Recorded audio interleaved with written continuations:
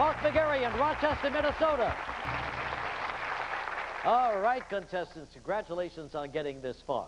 And now we're going to find out which one of them will get the first chance to play for a million dollars. And here's how it works. In a moment, a question and four answers will appear on your screens. The one who puts those answers in the correct order, in the fastest time, will be our first player. Audience, please, uh, we need your complete silence. Thank you very much. Here comes the question. Place the following foods in the order in which they were first introduced. Spam, Rice-A-Roni, Hershey's chocolate bars, Wonder Bread.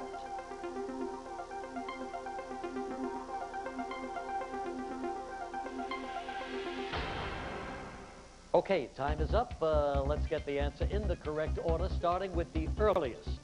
With the earliest, Hershey bars, Wonder Bread, Spam, Rice-A-Roni. That was the correct order. Now let's see who got it right. And who got it right in the fastest time? Mark Megerian. Mark! Hey! Congratulations, Mark. That's terrific. You ready to win a million dollars? I'm ready. All right, let's play. Okay, Mark. Good luck.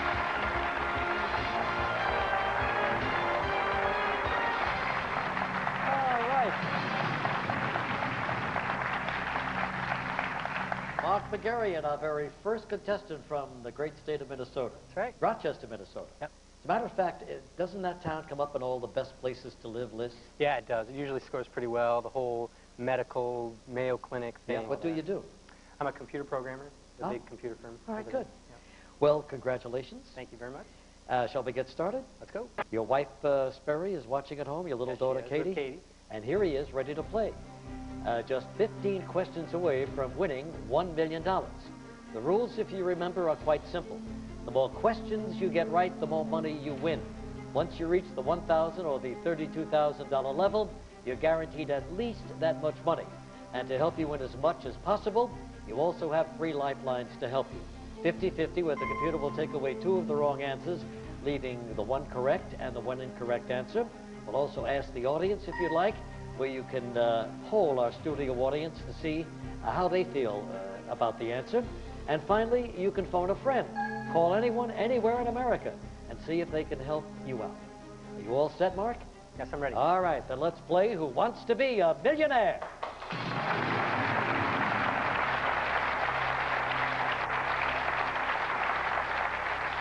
All right, just like old times. Here we begin, Mark, for $100. Here it comes. What is cotton candy made of? Rice, cotton, sugar, tobacco.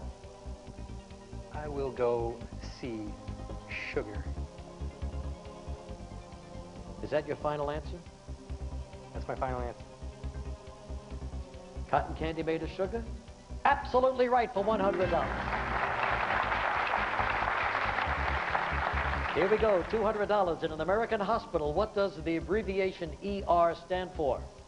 Emergency room, endoplasmic room, express room, excellent room, Hmm. Gotta go emergency room A. emergency room A, $200 final answer.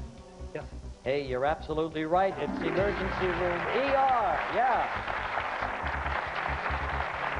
Mark, for $300, check it out. Okay. According to the well-known proverb, what city was not built in a day?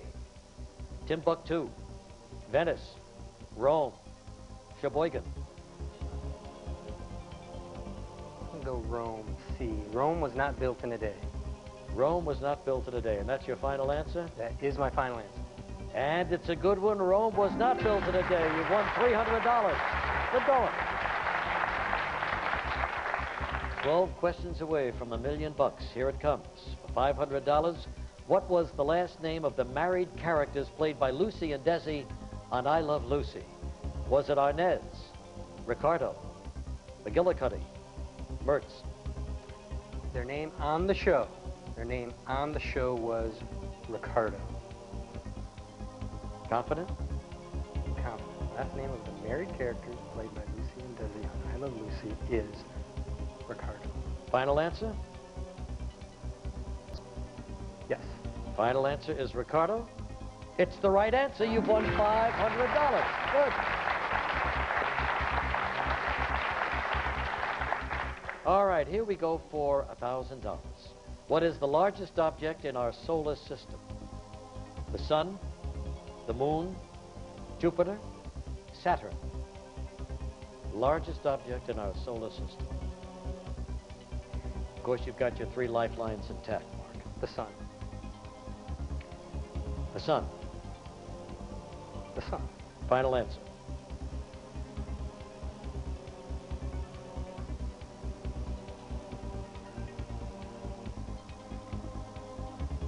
Yeah. Okay. Yeah. He says final answer. He says the sun. He said it three times. He's right. It's the sun. Good.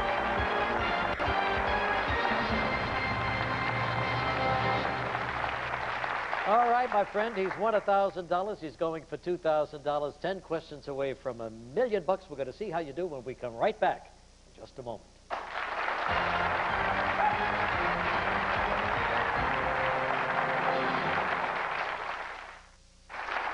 Mark Megerian, and our first contestant as we begin our second flight of shows on this Sunday night, won $1,000. What would you do if you won the million dollars, Mark? A million bucks.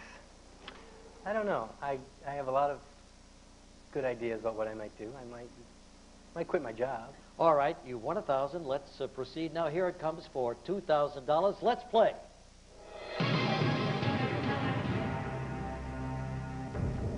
What university does President Clinton's daughter Chelsea attend? Columbia, Berkeley, Yale, Stanford. Um, I know she went out to California, so that would leave it between Berkeley and Stanford. And I believe she went to Stanford. So I'm going to say D, Stanford. Stanford. I'm saying Stanford. And that will be your final answer. Yeah, that's my final answer. Man says uh, Stanford. He's absolutely right. It's Stanford. You've won $2,000. Here it is for $4,000. What is the proper name of a newborn swan? Duckling, cygnet, poult, nestling.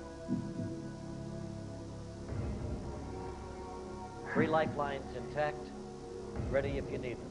50-50, phone a friend, go to the audience. Wow. Cygnet or duckling,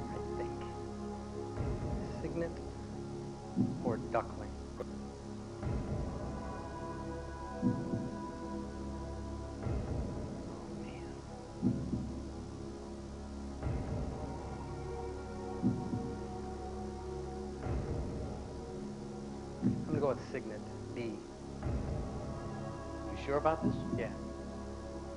You were just torturing yourself a minute ago. Well, I'm not gonna get any surer, so You want B, Cygnet. yeah. Final? Yeah. His final answer is Cygnet. Hey, Mark. What? You're right. It's Cygnet.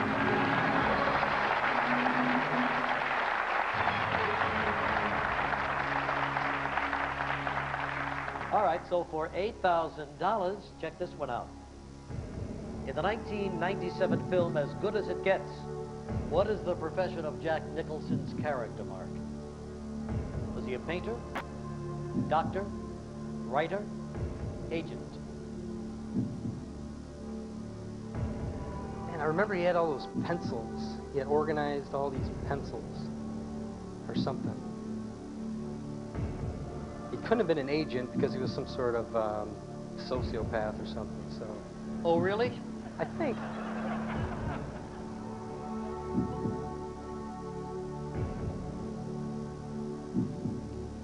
Painter or writer? Um, I'm going to say writer. Okay. Sure about this? I'm pretty sure. Those pretty pencils, sure. huh? The pencils, yeah. Uh, the pencils. Yeah. All right, so the final answer is writer. Yeah, that's That's what right. he says. He says writer. Yeah. Yeah, you got it. Yeah. Writer. Eight thousand dollars.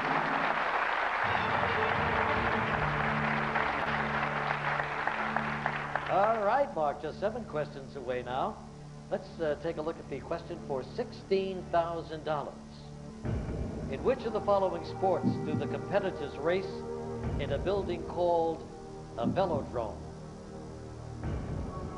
Is it a luge, cycling, walking, dog racing? The velodrome.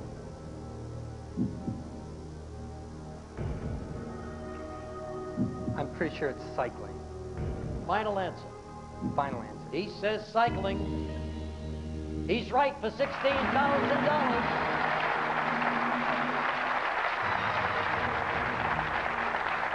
You're doing great. You're doing just- just fine, and you've got your three lifelines Yep. still with you. Yep.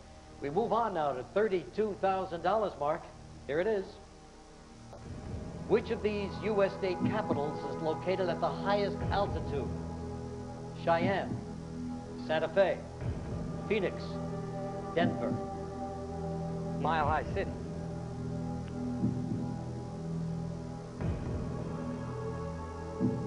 It's got to be Denver. Right? You're asking me? Yeah. I'll let you know in a minute. Mile High City. Come on. All right, you're picking my. Is that your final answer? Um, Santa Fe, Phoenix, Cheyenne. Yeah, I'm going Denver. You're going with Denver? Going final with answer final is answer. Denver? Yes. For $32,000. I thought it was Denver too. It's not. I'm sorry, my friend. No. Santa Fe. Oh, can you believe it? Santa Fe. But you leave here with $1,000. All right? Yep. Hey, you were a great contestant. Thank you. Thank Thanks you very, very much. Nice hand for Mark Megerian, everybody.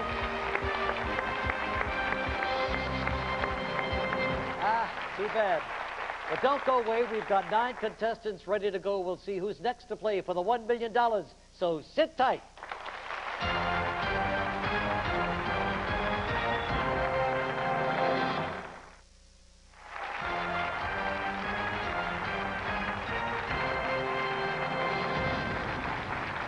Yeah, I know. I'll bet there were a lot of people out there in Santa Fe shouting at their television sets. It's too bad, really. He left with all his three lifelines intact.